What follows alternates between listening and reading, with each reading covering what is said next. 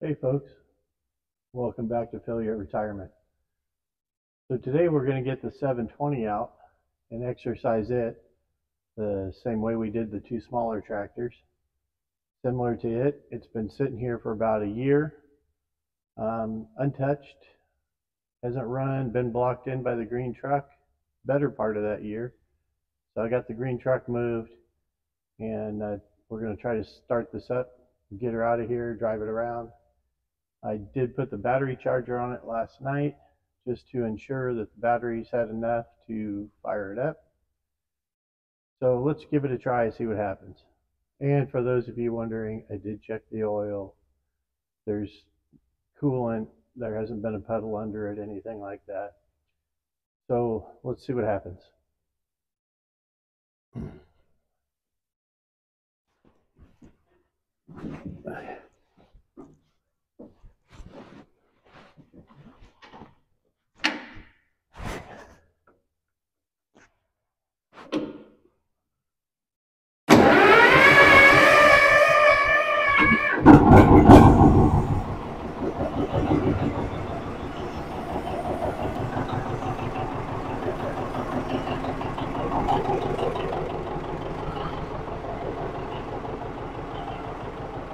There's that sweet music.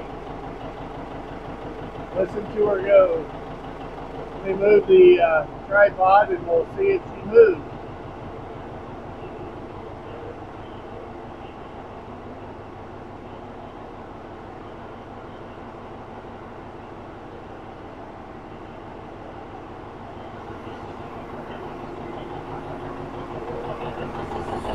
All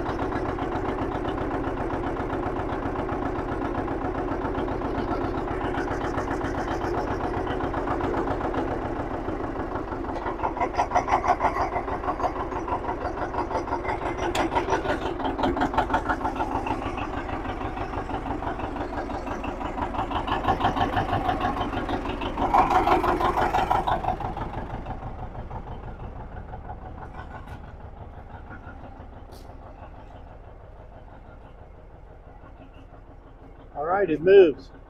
Time for you to go with. We'll just do a quick walk around here. This one has three point. It's one of Failure's requirements. This is a very, very original tractor. This one actually has wheel weights inside and out. I believe it's the only tractor Failure owns with rear wheel weights. That's probably the only vintage one. So electric start diesel, original paint the way Failure likes it. Just got a pressure washed it a couple years ago, but still got a lot on it. This one had a bad injector pump when the guy bought it. And it had been run that way for a while. So single front, got the air cleaner.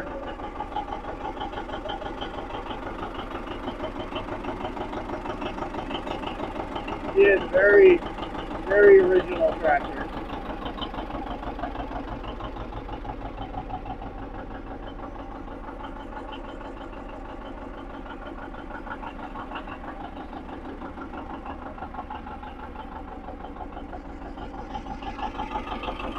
Get on or go for a ride?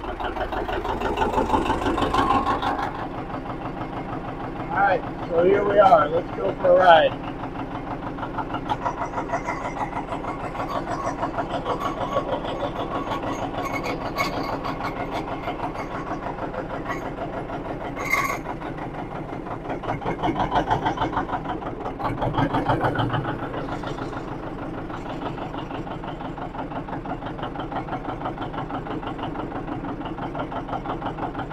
So this tractor, I bought it from a guy about 15 miles south of me. He was just kind of over it, I think. He had gotten it from some of his family that was about two, two and a half hours further south of me. And this has been a hay farming tractor. His family, they were hay farmers. They used it to pull hay rake, baler. Uh, that was what he told me.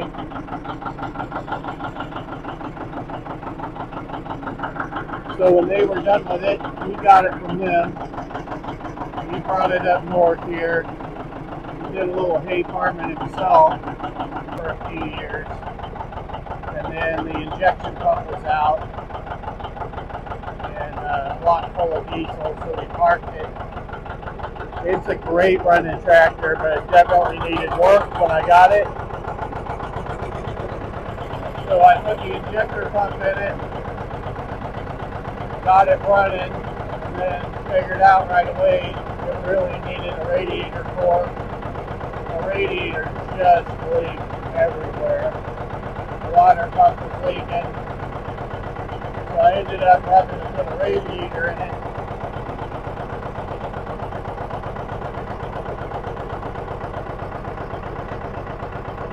Still needs work. Don't get me wrong. Uh, some of these gauges are, like, I'm not sure that the water temperature gauge works, if I remember right. Fuel gauge doesn't work. Kind of hoping I don't run out of diesel here.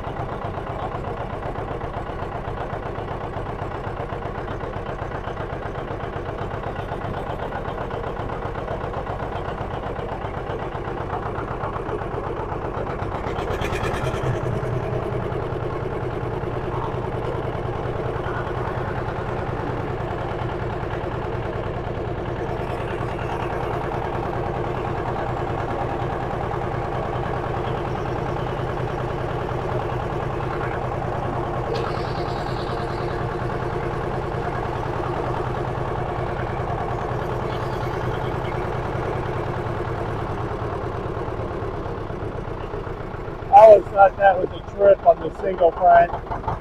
You really can't, especially on the 720, you really can't see that front wheel at all. If you turn really sharp, you'll see the front of it. 520, my dad had a 520 that had a single front on it for a long time. That was, uh, I believe that was the first hand clutch I learned how to drive. Matter of fact, sitting right over here. Pest control guy is here. So this 520 will come up to. It had a single front on it when my dad got it. And he run it with a single front for years. I liked it that way as a kid because of the trippy part where you can't see the front wheel. But as an adult, they're good for road crops, cultivating, I guess, or turning short on the ends. But they sure do ride rough. They are not fun to drive in a rough field, I'll tell you that for a fact. So here where we are, most of our tractors are wide front. So anyway, appreciate you guys watching. Have a good day. We'll see you next time on Failure Retirement. I'll put a little more footage on the end here as I back her back into place. So stay, stay tuned if you want. Tune out if you want. It's all the same to failure. Thanks.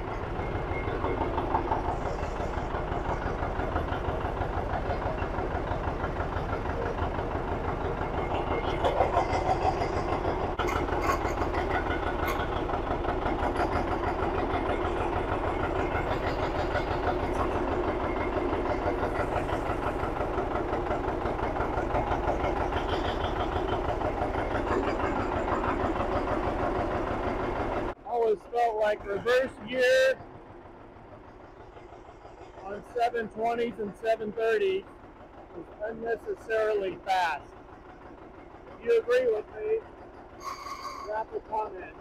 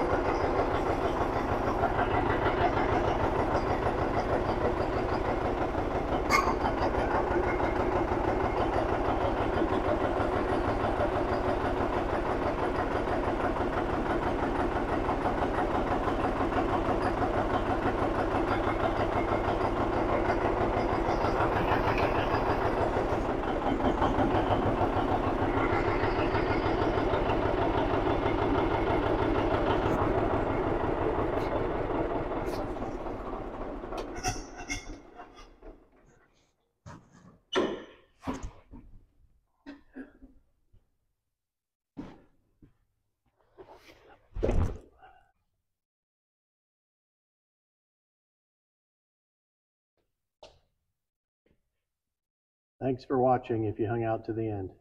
See you next time.